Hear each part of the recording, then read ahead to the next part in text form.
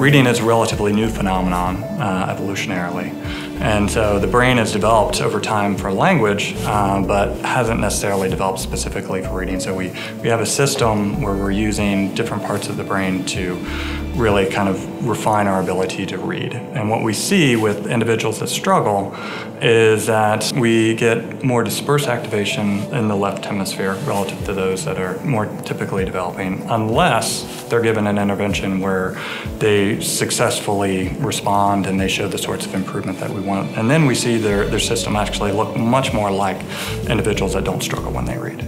There was an intervention study that was up to three years in duration, so it picked up kids at the end of fifth grade who were struggling with reading. So these are, are kids that have had years of reading instruction, but haven't showed the sorts of gain and development in reading that we ideally want. So they're generally more than one year behind where we want in terms of their reading level.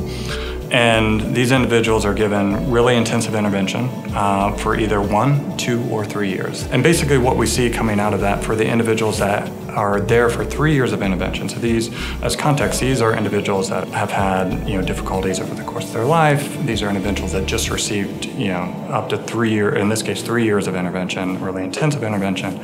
Uh, that we're able to see really actually robust gains for these folks. The flip side is while, while we show these gains, uh, unfortunately what we're not able to do is really at this point with this intervention is to reduce the gap between um, where these individuals are in terms of their performance level compared to peers that aren't struggling. And what I think it implies is that we really need to kind of redouble our efforts on early intervention. Our, our ability to intervene successfully and effectively is better for kids that are younger.